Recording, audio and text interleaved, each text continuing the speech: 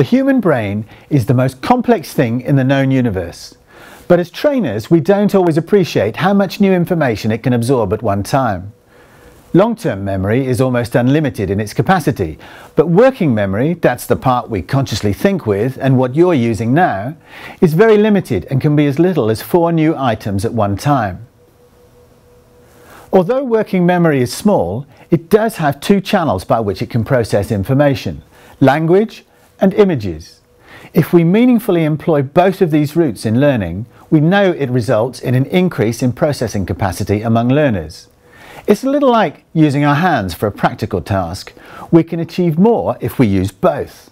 I'm employing both routes of your working memory now by talking and showing you this visual analogy of road tunnels.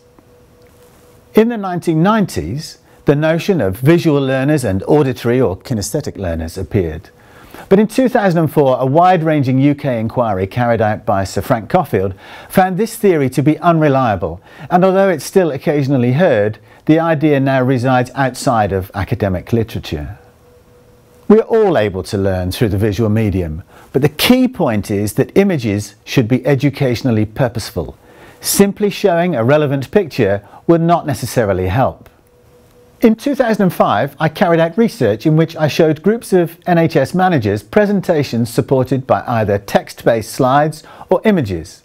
The images were relevant to the topic but had no educational function. I asked participants how highly they rated the visual aids and tested their retention 10 days later. The groups that saw images rated the visual aids much more highly than those who had text support. However, when I tested their retention 10 days later, there was no significant difference. Somewhat worryingly, for those who deliver mandatory training, neither group recalled anything significant about the topic. The importance of using visual support that is educationally functional is illustrated by a practice employed by some American lawyers, who have been found to deliberately use PowerPoint in courtrooms in order to fill the processing capacity of jurors with irrelevant items, and thus disable their working memory and their ability to engage critically with the evidence. This effect is not limited to unscrupulous lawyers. Ironically, some well-meaning trainers and lecturers also do it, albeit unknowingly, by presenting text slides while they speak, thereby forcing two forms of content simultaneously through one route.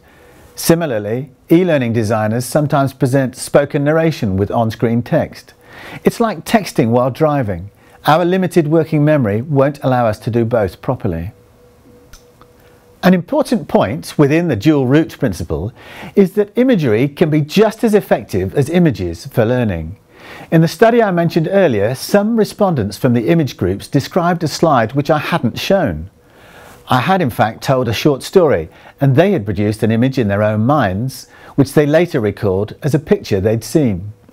This links with what we know from functional MRI scans used in research, that similar parts of the brain are employed if we imagine an image as when we see a scene. If we construct an image in our minds, it's often more lasting, a phenomenon known as the imagination effect. In 2010, I compared four different visual modes in support of a learning session about the values of an NHS trust. Groups comprised mixed grades and professions and saw either Images which were educationally purposeful, brief text of five words or less, traditional text summaries of 40 to 60 words, or guided imagery in which they were asked to imagine clinical situations. Significant differences were recorded both in appreciation and recall 14 days later. The guided imagery and purposeful images were found to be more highly rated and produce more lasting learning after 14 days. A surprising and disappointing finding of my research has been that many teachers, trainers and lecturers have received no tuition in the educationally functional use of the visual medium. Some have received guidance in the functionality of PowerPoint, others in creating aesthetically pleasing visual design, but few in the UK receive guidance in the cognitive benefits of task-appropriate images and imagery.